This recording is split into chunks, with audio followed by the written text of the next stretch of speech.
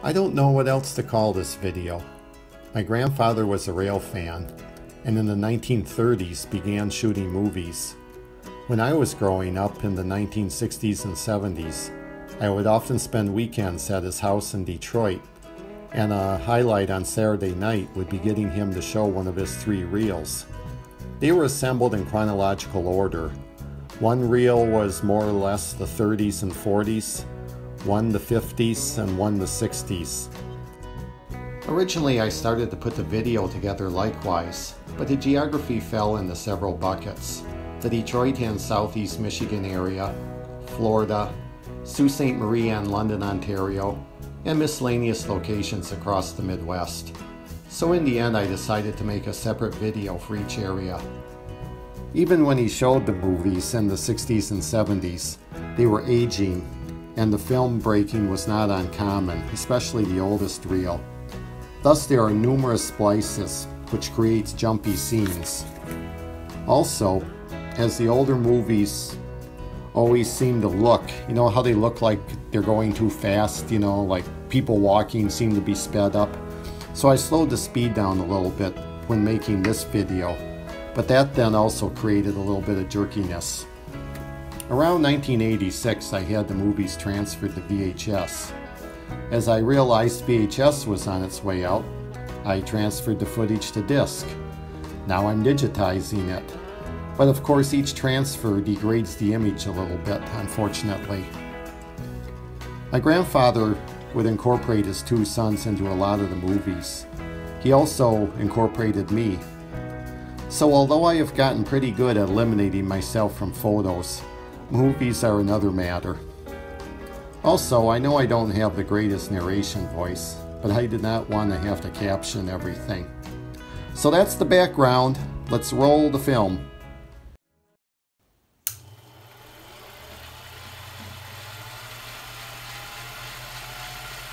It's 1935, and this is at the Michigan Central Depot in Detroit.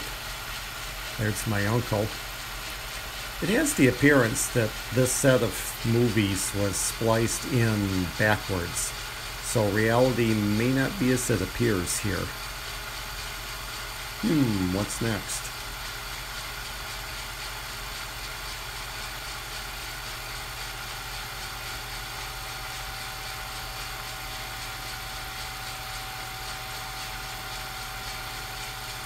There's some of the tunnel motors that took trains through the tunnel to Windsor.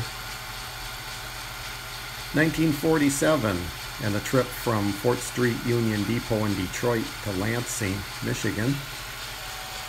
And just like the Land of Oz, we suddenly have color. 1947 was also the year that Pere Marquette and C&O merged.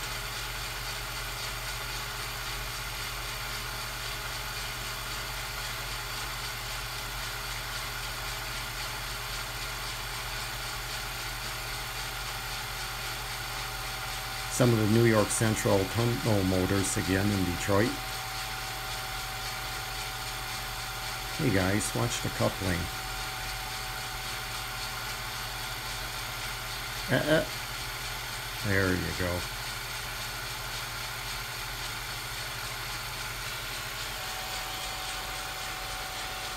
Romulus, Michigan, C&O, southbound. Somewhere on the New York Central. Not quite sure where exactly.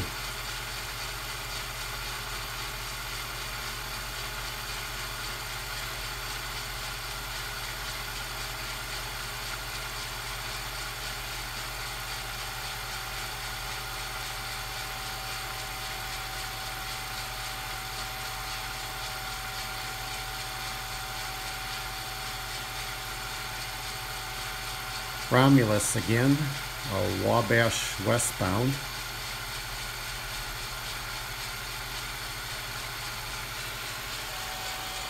And northbound on the C&O, grabbing orders.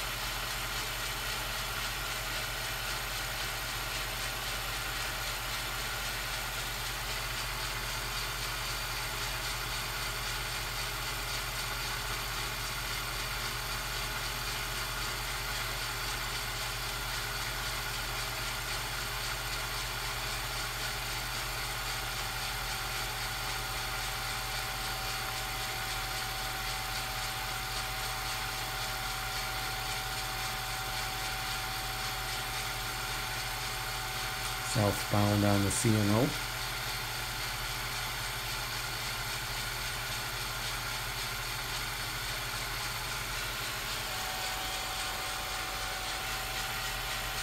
believe this is New York Central, but not sure where.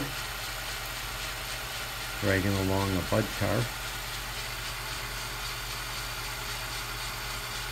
We now start the mid-1950s reel with the New York Central at Ann Arbor.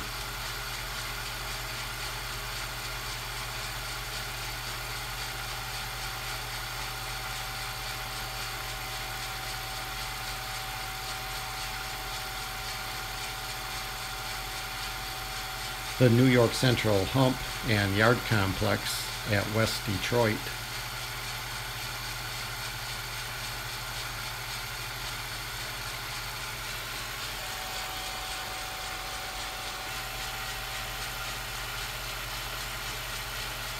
I believe this to be near Rochester. GTW Port Huron with uh, 6410 He'll be getting on his train and departing.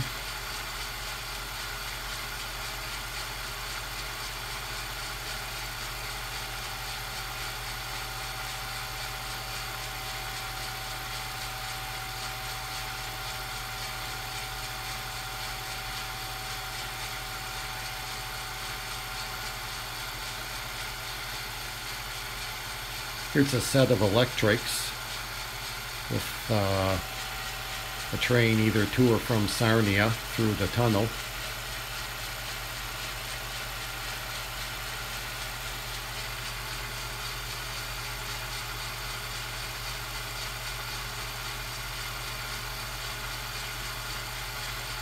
My grandfather always really liked this uh, shot here with the drivers slipping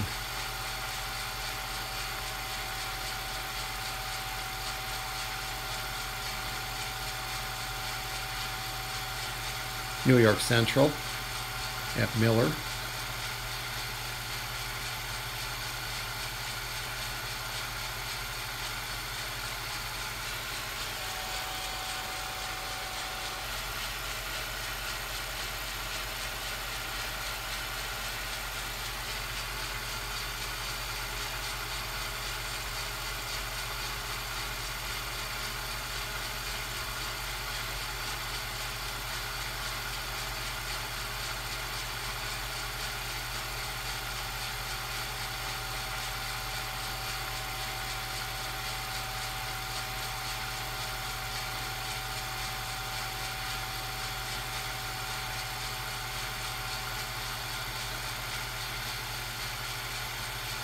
Near Delray.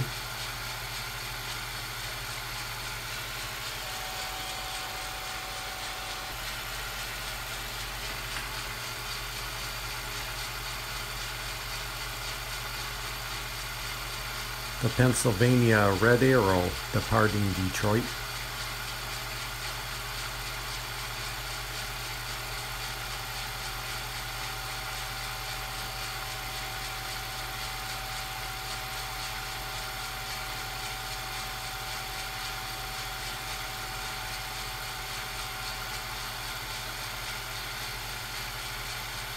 New York Central, location unknown.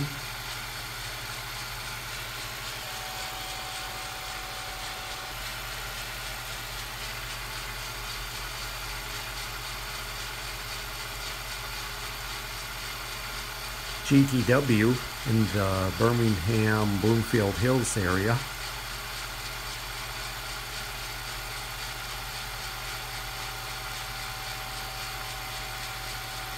believe this to be the GTW near Lansing.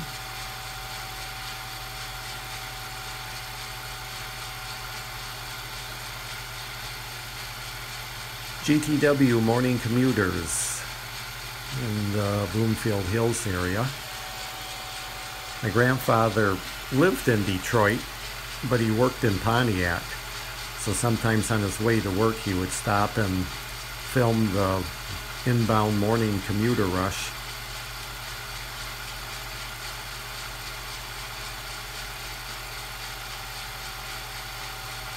Birmingham, Bloomfield Hills area.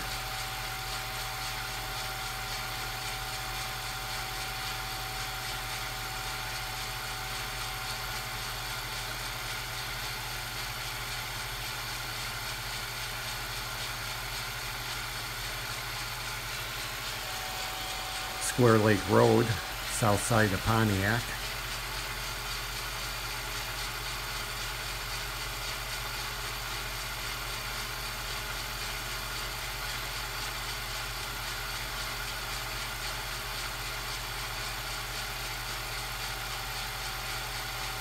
New York Central, believe it's one of the Ingersoll Rand box cabs, pushing cars through the washer.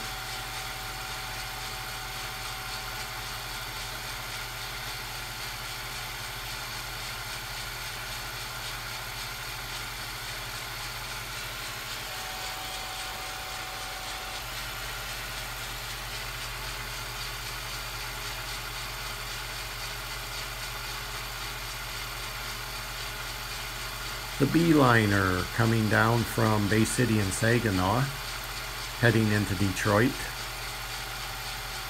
seen at Bay City Junction.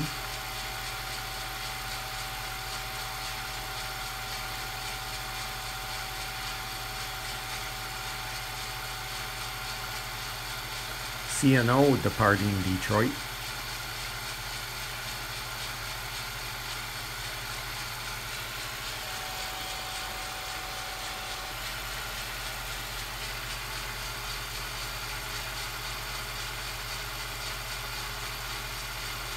GTW at Durand.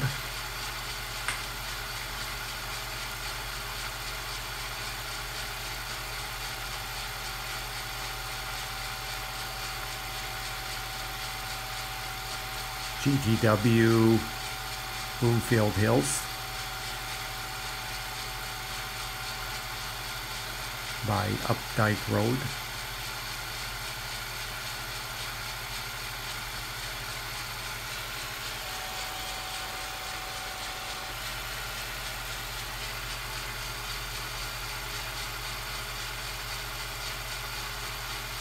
The overnight Muskegon to Detroit train would come down in the morning, intermingled in with the commuters inbound.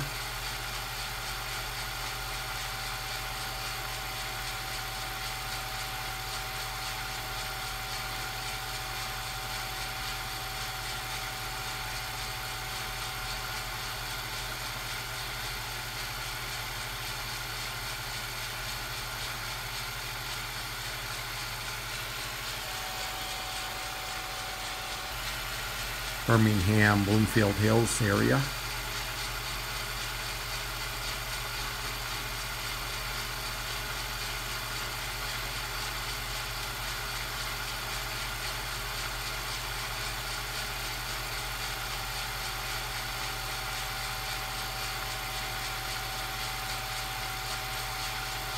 When I was a kid, I just thought this was the neatest scene.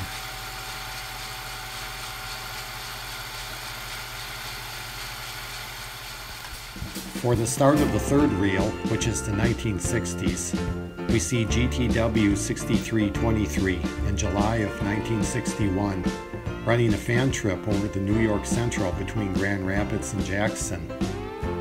That was the photo run by at Parmelee Curve, and here you see it coming into Hastings.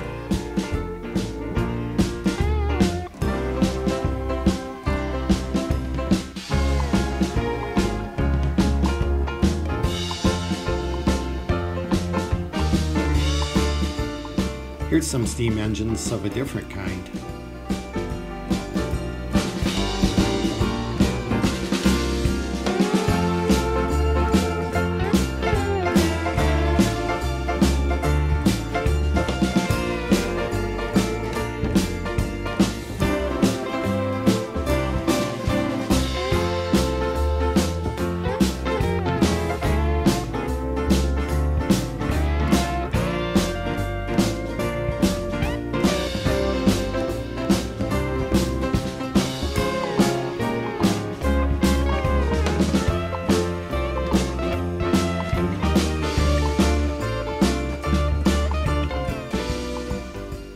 1963, the General was on tour. It is seen at Greenfield Village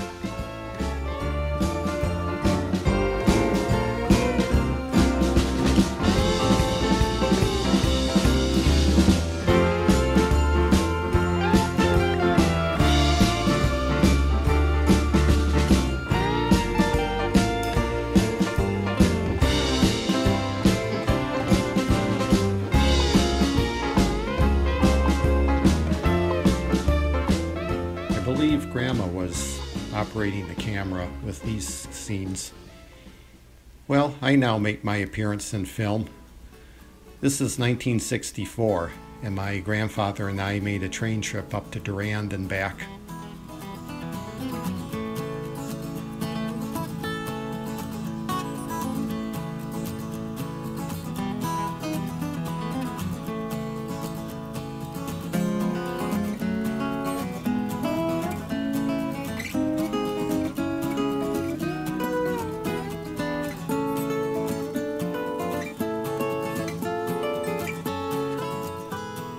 Here's the Toronto to Chicago train.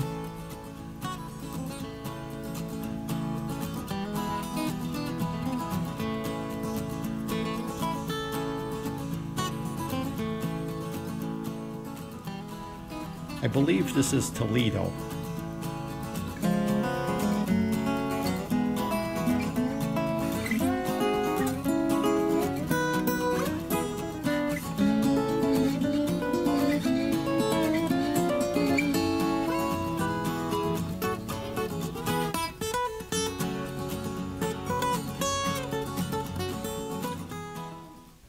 It is 1966, and we are now at the GTW car ferry dock on the Detroit River, watching the Huron of Sarnia shuttling cars between Detroit and the CN dock at Windsor.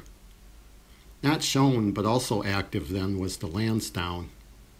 This is roughly where the Renaissance Center sits today.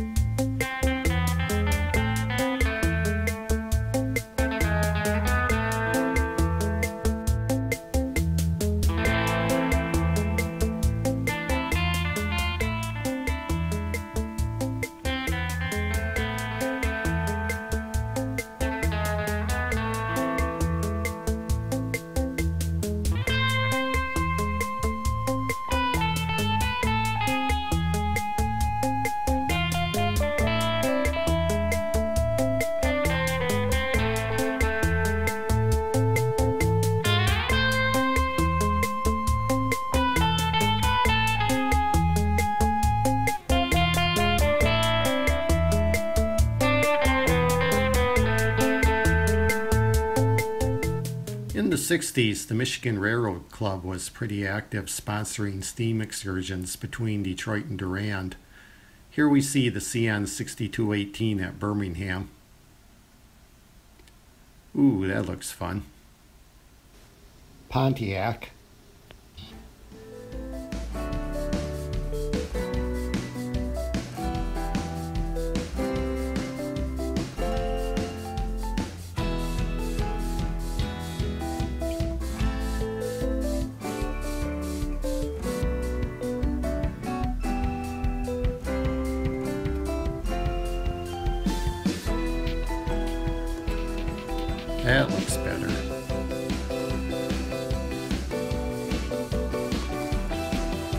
Grandpa even got my neighbor friend into the act.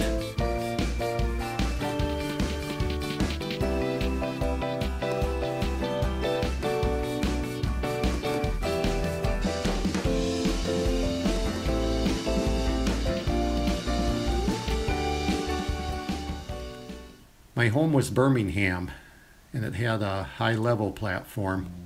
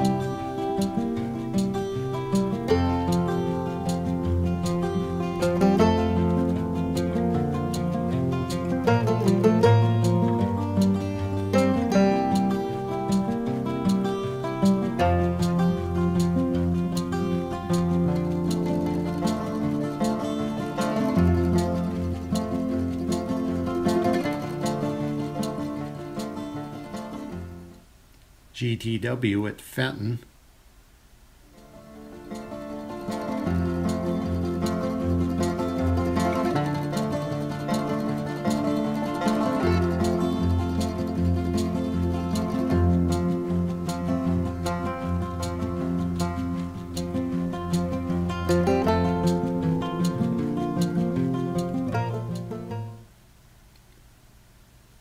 Grandfather in 1968 got a release, uh, signed a release for us to be on the New York Central property there at West Detroit. So he took advantage of it.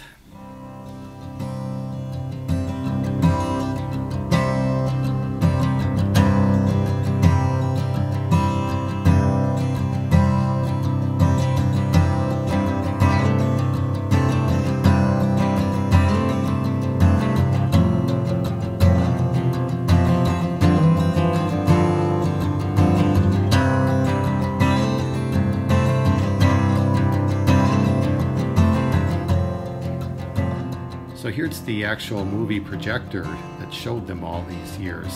Quite a workhorse.